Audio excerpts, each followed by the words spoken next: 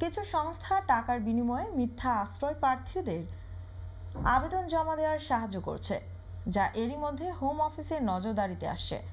স্বরাষ্ট্র সচিব সুয়েলাভ রিভারম্যান জানান, এ সকল অসাধু অভিবাসন আইনজীবীদের বিচারের আওতায় আনা হবে।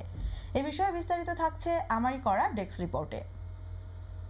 একটি তদন্তের পরে দেখা গেছে, কিছু কোম্পানি হাজার হাজার পাউন্ডের বিনিময়ে মানব পাচার বা নির্যাতনের একটি বানোয়াট ব্যাক স্টোরি ব্যবহার করে একটি মিথ্যা আবেদন জমা দিয়ে সাহায্য করছে মিথ্যা আশ্রয় প্রার্থীদের সরকার বলছে, জালিয়াতি করে দেশে থাকতে সাহায্য করার জন্য দোষী সাব্যস্ত ব্যক্তিদের যাবজ্জীবন কারাদণ্ড হতে পারে।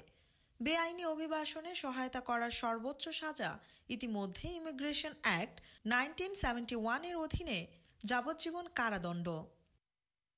হোম অফিস বলছে টাস্কফোর্স অভিবাসন ব্যবস্থায় কাজ করে এমন কর্মীদের জন্য নতুন প্রশিক্ষণের ব্যবস্থা করছে যাতে তারা সন্দেহভাজন কার্যকলাপ শনাক্ত করে রিপোর্ট করতে পারে Enough is enough. This cannot and will not continue.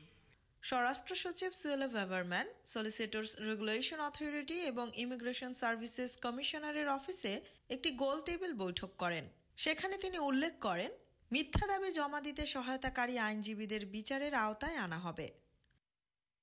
তবে ল সোসাইটি বলছে, হোম অফিস আশ্রয় দাবিতে উল্লেখযোগ্য ব্যাকলগের পরিবর্তে একটি ক্ষুদ্র সংখ্যালঘু আইনজীবীর দিকে বেশি দৃষ্টি দিচ্ছে। প্রথম পনেরো জন অভিবাসী বিবি স্টকহোম বার্জে আরোহণের পরে অন্য বিশ জন হোটেল থেকে জাহাজে যেতে অস্বীকার করে। এরপরই স্বরাষ্ট্র সচিব সুয়েলা ফেভারম্যানের এমন সিদ্ধান্তের ঘোষণাটি আসে।